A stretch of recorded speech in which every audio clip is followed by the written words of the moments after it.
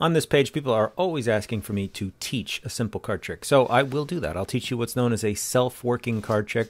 I've taught a few of them in the past on this page. People absolutely love them. Uh, I don't really understand a lot of the math behind these tricks, but uh, here's another one that I just found recently called the cross.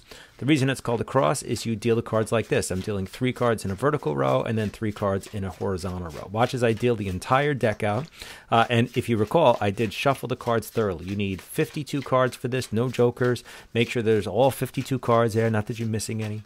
When you deal them out, the very last card that you have in your hands, uh, I want you to place at the sixth position, the sixth position into the center pile. All right.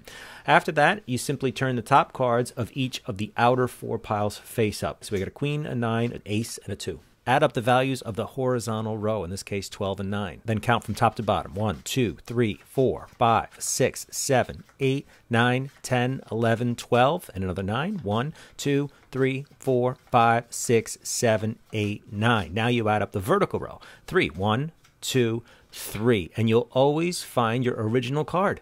I mean, that doesn't make any sense. Since the deck was shuffled, I couldn't have any control of the cards that were on the piles or the selection, but it will always work. Anyway, give it a shot and let me know what card yours was.